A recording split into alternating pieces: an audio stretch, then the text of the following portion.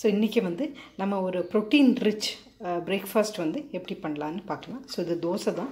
So இதில் வந்து நம்ம வந்து ஸ்ப்ரவுட்ஸ் இருக்கு இல்லையா? கொண்டக்கடலையை வந்து நல்லா முளைக்கட்டிட்டு அதை யூஸ் பண்ணிவிட்டு நம்ம இந்த மாதிரி தோசை இது பண்ண போகிறோம் அதோட டொமேட்டோ சட்னி நல்ல காம்பினேஷன் ஸோ நல்ல டேஸ்ட்டாக டேஸ்டியாக இருக்கும்.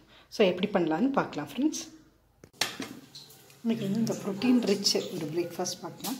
இதுக்கு வந்து ஒரு ஒரு கப்பு இட்லி இட்லி அரிசி ஒரு ஸ்பூன் உளுந்து ஓகேங்களா? ஸோ இது ஒரு டூ ஹவர்ஸ் கிட்டே ஊற வச்சு இந்த மாதிரி எடுத்துக்கோங்க ஓகேங்களா? ஸோ இது வந்து ஒரு கப் எடுத்துருக்கோம் டோட்டலாக ஸோ இதில் வந்து என்ன பண்ணுறீங்கன்னா ஒரு ஹாஃப் கப்பு வந்து கொண்டக்கடலை வந்து இந்த மாதிரி முளைக்கட்டின கொண்டக்கடலை ஓகேங்களா? ஸ்ப்ரவுட்டட் கொண்டக்கடலை. ஸோ இந்த ஸ்ப்ரவுட்டட் கொண்டக்கடலை வந்து ஹாஃப் கப்பு ஓகேங்களா? ஸோ அதை போட்டு இது மிக்சியில் வந்து நல்லா மையை அரைச்சி எடுத்துக்கலாம். ஸோ ஹாஃப் கப்பு போடணுங்க. இது ஹாஃப் கப்பு மிக்சியில் போட்டு நல்ல மையை அரைச்சி எடுத்துடலாம். ஸோ இதோட வந்து நாலு வத்தல் மிளகா. ஓகே காரத்துக்கு உங்களுக்கு காரம் ஜாஸ்தி பிடிக்கும்னா ஜாஸ்தியாக போட்டுக்கோங்க. வத்தல் மிளகா போட்டு வச்சு.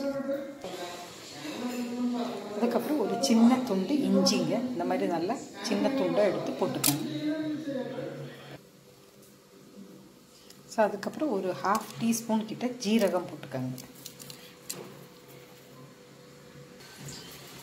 ஸோ இதெல்லாத்தையும் சேர்த்து மிக்சியில் வந்து மை போல் அரைச்சிடலாம். ஸோ நம்மளோட இந்த மாவு ரெடி ஆயிடுச்சு.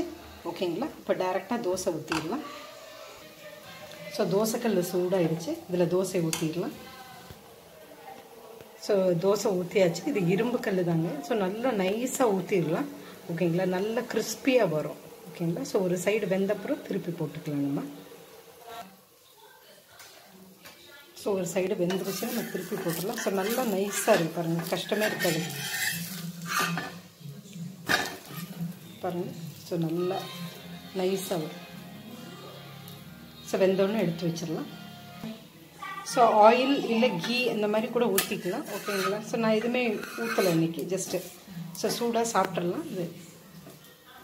ஸோ உங்களுக்கு எடுத்து காமிக்கிறேன் பாருங்கள் இந்த மாதிரி சூடாக இருக்குது ஸோ பாருங்கள் ரொம்ப ஒரு மாதிரி மெல்லிஸாக ரொம்ப நைஸாக இருக்கும்.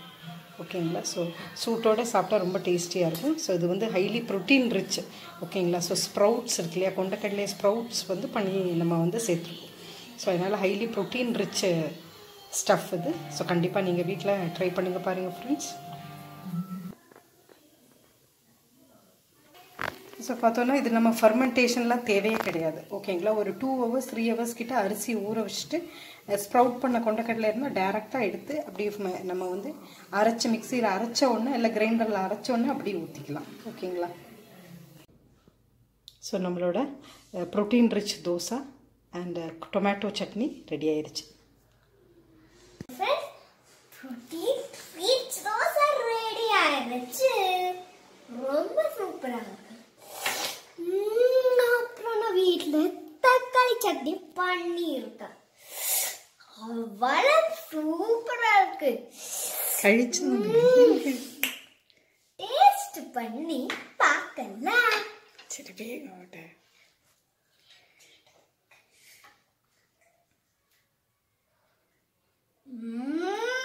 சட்னி மிக்க வேங்க. உம்.